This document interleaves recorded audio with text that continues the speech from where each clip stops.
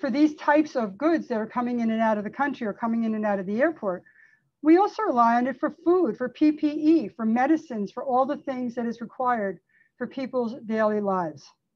It is vital to the tri-states economy as well, that people have faith in their airports, they know that they are safe for cargo travel, and that the economy rests on a safe and secure what type of travel in and out of our city. You need to feel safe when you're traveling. And I can't think of anywhere else that you need to feel safer than in, in our airports. And today we have proved that the system works. And six people are indicted for making for, for doing what they did in stealing the cargo out of the airport. So in this case, the defendants allegedly used tractor trailers to haul away several pallets of designer clothes, handbags, sneakers, shoes, sunglasses, and other accessories. Their targets were Gucci, Chanel, and Prada, high-end designer brands they knew they could easily trade for big cash payouts. The combined take of these two heists is more than $6 million. It is a greater haul than the infamous Lufthansa cargo many, many years ago. The crew indicted by my office allegedly carried out the first heist in January. In that take, they raked in more than 800,000 goods in Prada merchandise. Believing that they were not under suspicion for the first grand larceny, the crew in May carried out a second, larger heist, feeling empowered. This time they grabbed pallets of Chanel and Gucci products, so much gear that they essentially needed their own warehouse to store those goods. Physical surveillance by the Port Authority and FBI led us to the location of that warehouse and of the stolen goods. One of the defendant's movements then helped us connect the dots. Historical cell site analysis of the defendant's mobile phone by the FBI put him at both the scene of the crime and at the stash house in Jamaica, Queens. That stash house is where the defendants already sold off a considerable amount of the stolen property. This defendant posted at least one video on Instagram showing off a spectacular ocean view from his room and visiting the iconic Fontainebleau Hotel he even showed off a pair of the Chanel sneakers, just one of the items that was part of the stolen shipment. Here's the video of one of the defendants vacationing like a rock star.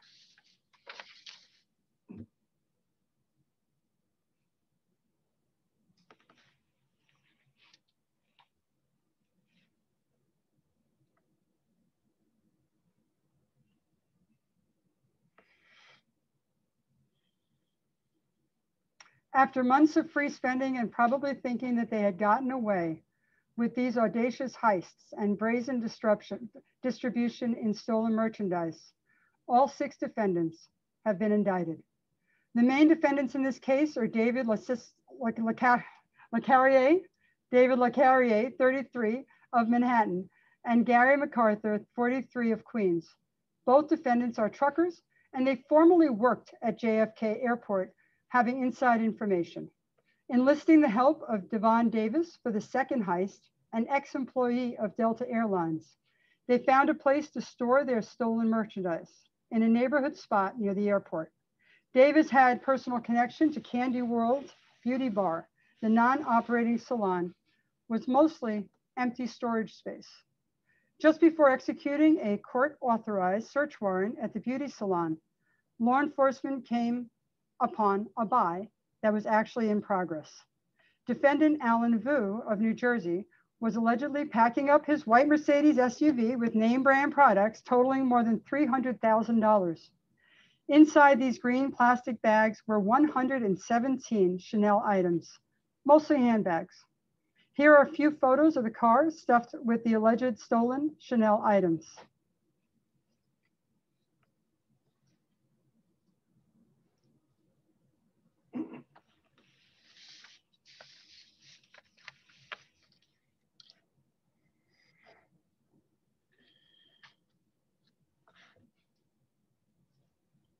Once inside Candy World, police discovered something resembling a messy stockroom of stolen merchandise.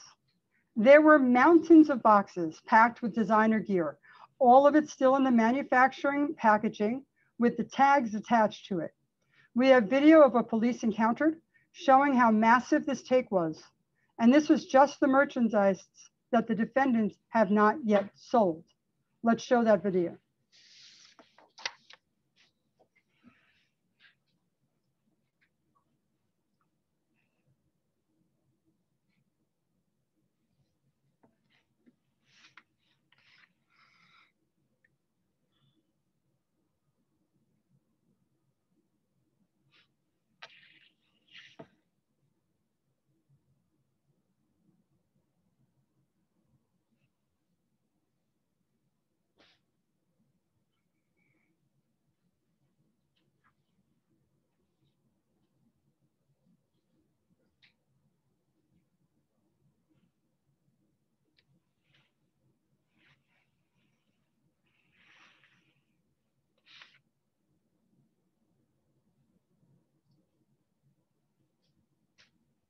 Inside Candy World, police recovered more than 3,000 Gucci items, including clothes, handbags, and duffel bags. There were just over 1,000 Chanel products, including purses, jewelry, sunglasses, and numerous other accessories. The estimated value of the recovered merchandise totals more than $2.5 million.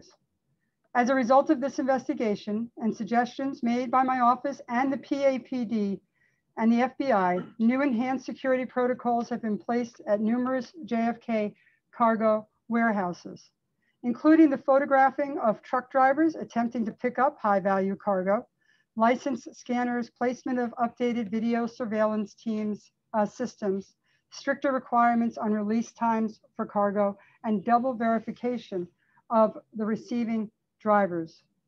I want to thank all our law enforcement partners for this great work.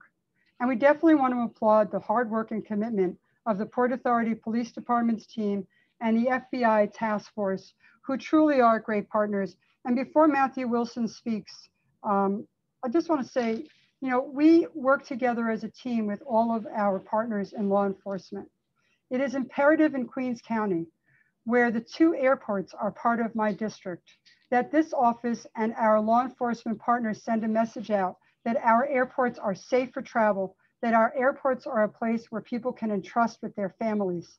And this is one step closer to making sure that that happens. So thank you to the entire team. I now ask Chief Wilson to say a few words.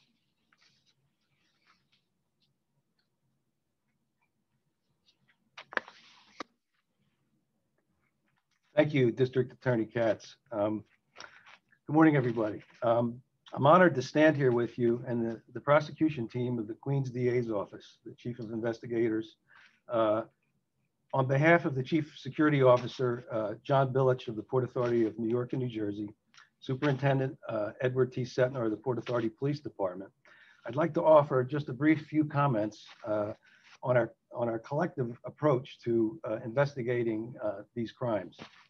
Um, when you have cases like this uh, and they come together where criminals don't know borders, where they exploit their inside knowledge of an industry, where they plan, conspire, they move stolen goods from one area to another, offload the merchandise, and then return nearby to set up their own system to distribute this uh, merchandise. It takes a real integrated effort to be successful. And our problem started in January and then again in May and we had a mystery driver, a fictitious pickup. And he boldly enters a distribution facility with counterfeit papers in order to gain access and to, to make off with goods. So what starts as a, as a reported crime to one agency, a responding police agency, um, gives you a small window of information, and it's really a big problem. Um, what do we do to combat that? We join the airport community as a team, the law enforcement community um, working with the PAP detectives, the FBI task force members, multi-agencies, NYPD is, uh, is with us here today, the Queens DA's office investigators. We gather evidence, we conduct interviews, um, and we take a broad and penetrating look at the problem with the help of our skilled uh, attorneys and prosecutors.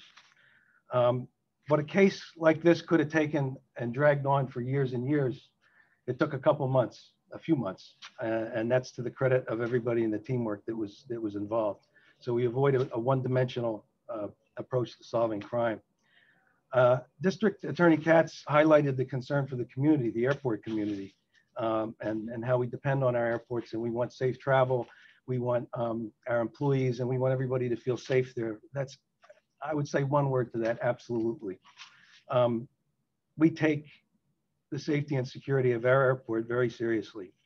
Um, our communities depend on our airports for the travel, commerce, and employment, and they're among the busiest in the region. While the uh, pandemic might have slowed up some of the passenger travel, I will tell you that our cargo uh, and international cargo uh, is continuing. And um, it's just an immense area with a lot of activity with the trucking industry, with the distribution uh, of goods and commerce coming in internationally, going out internationally. So it's a lot to keep track of.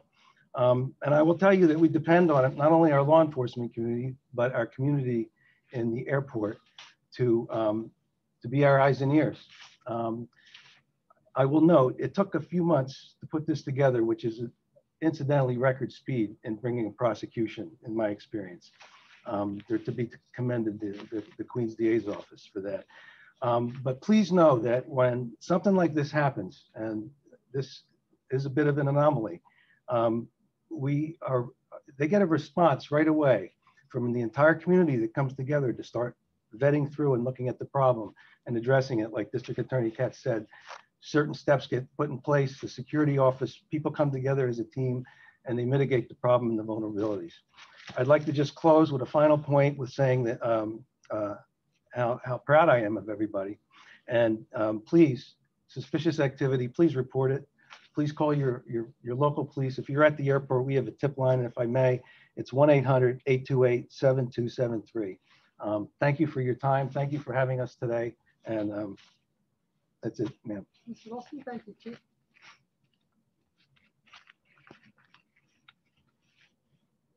Thank you.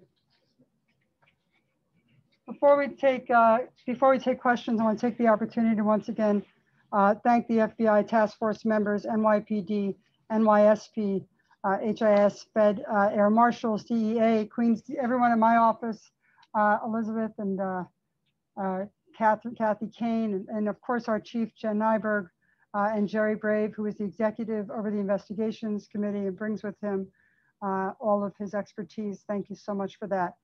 Uh, and I guess uh, we are happy to take questions if there are virtual questions.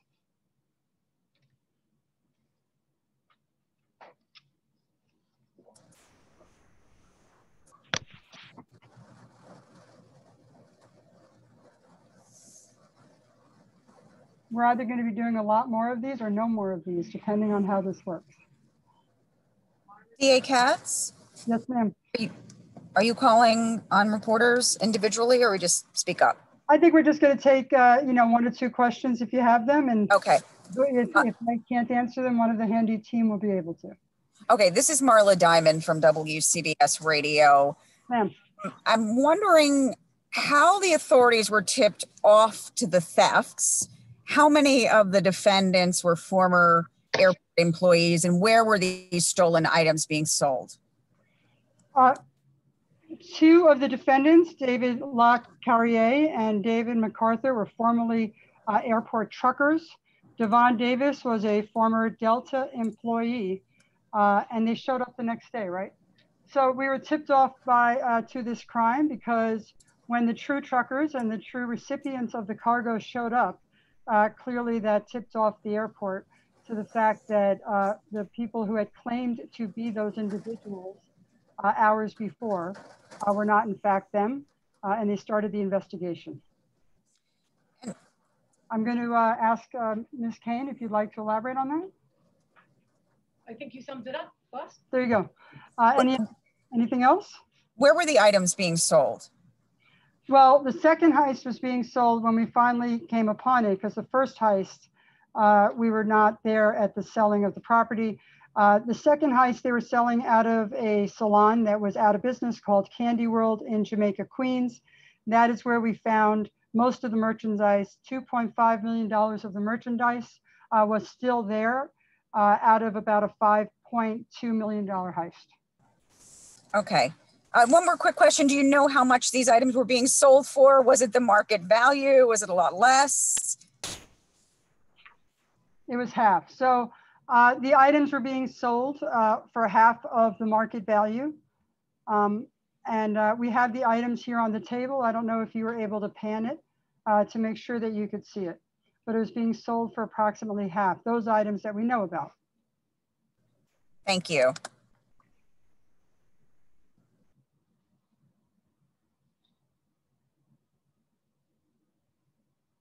I believe we have one more question.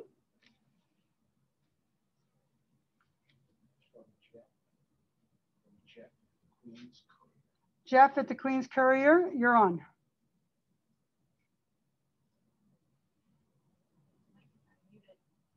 Uh, Jeff, you need to unmute your mic. No, just muted. He doing fine. Apparently you need to unmute it again. Should be able to ask the question. Sorry, we're having a. Not able to get his question. Okay.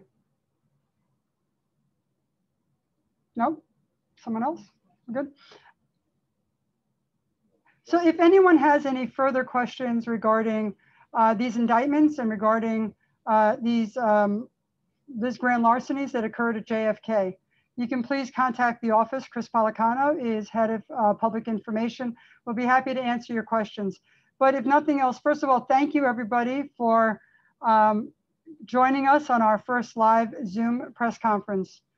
And second, I am committed to making sure that our airports are safe. I'm committed to working with our partners on the federal level and on the state level to make sure that um, all criminal activity at the airports is, is stopped and to make sure that people feel a safety that they know they can entrust the law enforcement community at the airports so that when they travel and when they send goods, that all is delivered safe and sound.